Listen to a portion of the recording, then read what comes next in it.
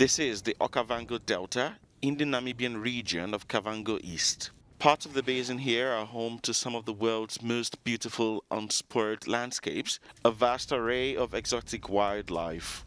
Villagers living here have now warned their livelihoods are at risk after Canadian company Econ Africa bought licenses of the Namibian government to conduct exploratory oil drilling across the country as well as Botswana. This is Andreas.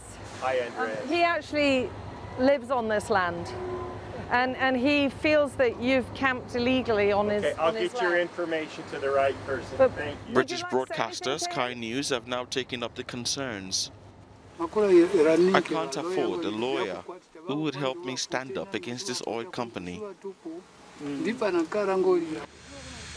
Andres Mawano lives with his family near Econ Africa's drill site in Rundu. He is skeptical about any potential merits that oil drilling could bring. are worried too because of the, the things, the oil they are doing.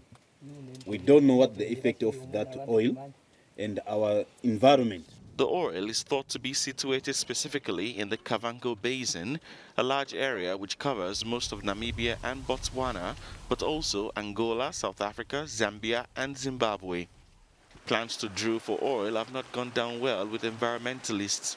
the wildlife will be diminished and the beauty and pure nature that's here will be harmed in some way. The Okavango region is home to the largest herd of African elephants left on Earth. There are fears that Econ Africa could expand the number of oil drilling sites in the area and build vast infrastructure to support their plans if their belief about oil in the area turns out to be true.